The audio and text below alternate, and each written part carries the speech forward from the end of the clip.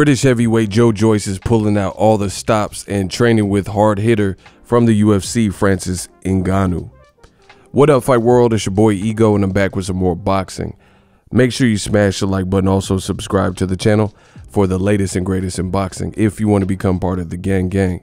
Notification gang, please hit the bell icon. Shout out to the super chats, channel donations, the Venmo donations, the Cash app, and the Patreon family.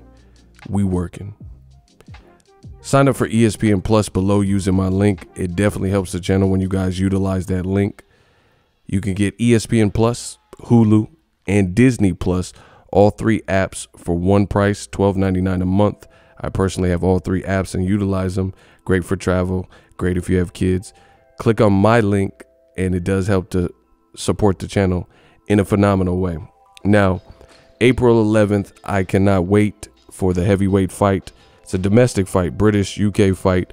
Frank Warren got him one, and that's Daniel Dubois versus Joe Joyce. Two guys with amateur careers, two guys with a lot of power, and two guys with undefeated records going head up. And, you know, I'm looking forward to it. Before I get into the fight, let's talk about the news and why you guys clicked on the video. Joe Joyce is pulling out all the stops and he is sparring. He got some rounds in with some tough work, including the UFC's heavy-handed Francis Ngannou. Now, if you guys watch the UFC, you'll know Ngannou is a beast at what he does, and he's very heavy-handed. His knockout with Alistair Overeem, vicious stuff, vicious uppercut. He he got power, and you know I like the matchup. Now, Ngannou might not be as versed as maybe a Daniel Dubois in terms of his boxing approach. However, Ngannou is a striker, and he's primarily an up and down, kind of like a stand-up fighter more so than some of the other dynamics and martial arts involved in MMA. So I think this is a good look for Joe Joyce. Get similar sized dudes, you know. Joe Joyce is a big dude. I was next to him. I stood next to him at the Wilder versus Fury one fight that I covered, and you know he's bigger than I thought. He's a little bit bigger than Joe Joyce, or Joe Joyce is a little bit bigger than Daniel Dubois, but Ngannou and Daniel Dubois are probably pretty close in height. They both about 6'4", 6'4 and a half, 6'5", something like that. And I think this is a solid look. I want to see in a fight like this, a fighter taking all the precautions and trying to get similar looks. Is it's in sparring, it's going to be impossible to get someone who is identical because you would have to match their experience, their exact attributes, their arm reach. You know, it's impossible different styles and stuff. So the best you could do is try to find similar builds, people who can implement similar styles. And one thing when it comes to Daniel Dubois that he's known for, hence his nickname Dynamite, is his power. And we know Francis Ngannou got cracks. You know, Ngannou's done good recently. His worst performance was probably his Stipe Miocic fights, but he didn't look good in that particular fight. Maybe it was something with his weight, but he's come back since then. And one thing we know is he too is a dynamite puncher. So I really like this for Joe Joyce. I think this is a good look. He's an experienced dude.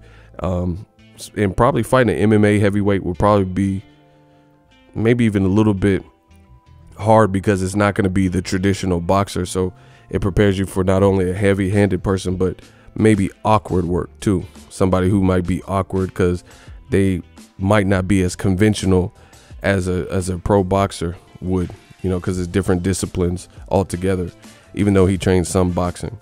So I like this. April 11th, it's about to go down. I'm really looking forward to this fight. This to me is a, it's a, gonna tell me a lot about both guys. Sometimes in the British fight world, British boxing, you got guys and they'll be built up and you don't really know how good they are until they fight world competition. Like, you know, some people rave about Luke Campbell, talk about his Olympic gold medal, but he came up short versus Jorge Linares and Vasily Lomachenko. It's not saying he's a bad fighter, but at world level, he hasn't been able to get the job done. Plus, he lost to Ivan Mendez, Vinny Mendez, or whoever. So you never really know. Daniel Dubois, he's fought like that Japanese giant dude he fought. Um, he fought some guy named Ebenezer. He fought some Antonio Brown looking motherfucker with his beard dyed. Not really big names, not names that'll really prove what he's capable. So I look at Daniel Dubois, you know, as one of the guys I've been checking for. Pause. in this sport, but we don't really know everything about him because his resume just hasn't stepped up. Frank Warren also has another fighter who was in a similar boat, Anthony Yarde. Anthony Yarde, when he fought Kovalev, I was like, yes, because that was going to tell me something about him. And I learned a lot. Even though he lost that fight, I learned a lot. I did pick Kovalev to beat Anthony Yarde because of the experience and the power and stuff. I didn't know how he would deal with it had it got to the later rounds and, you know, it played out exactly how I thought. But that was a major step up for Yarde in his career. Daniel Dubois has more amateur experience as a boxer than I believe Yarde, but it's a similar story.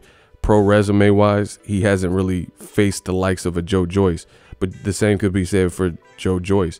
So Daniel Dubois, he sparred with Alexander Povetkin, and I think it was for the Joshua fight. Daniel Dubois also re- reportedly did really well sparring Anthony Joshua. They said he hurt him or knocked him out or knocked him down, something like that. So he has experience, but as a pro, he just hasn't had the the bigger names. So this would be the best name he's fought.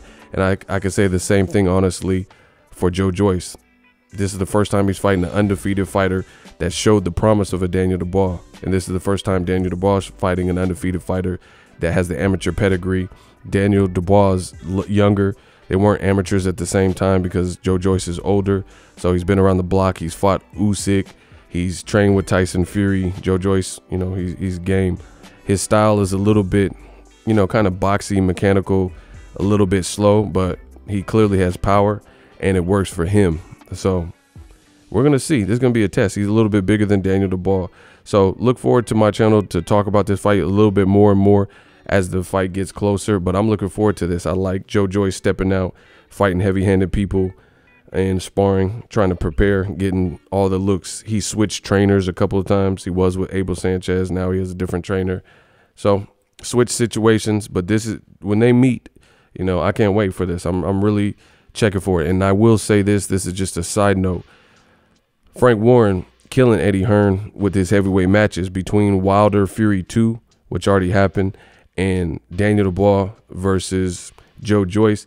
I'm much more looking forward to those heavyweight fights. Obviously, the Wilder one already happened. Fury beat him, got the WBC belt. But I was looking forward to those two heavyweight fights a lot more than Kubrat Pulev versus Anthony Joshua and Dillian Whyte versus Alexander Povetkin.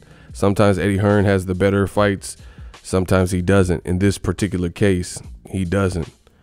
I definitely feel Frank Warren has the better card. In terms of blockbuster, I don't know how it's perceived in the UK. You know, maybe the Joshua because it's in the new stadium, maybe it does great numbers, phenomenal numbers. But in terms of meaningful fights and things of that sort, I'm much more looking forward to the fight with Joe Joyce and Dubois more than Whyte Povetkin or even AJ versus Pulev. That's my personal opinion.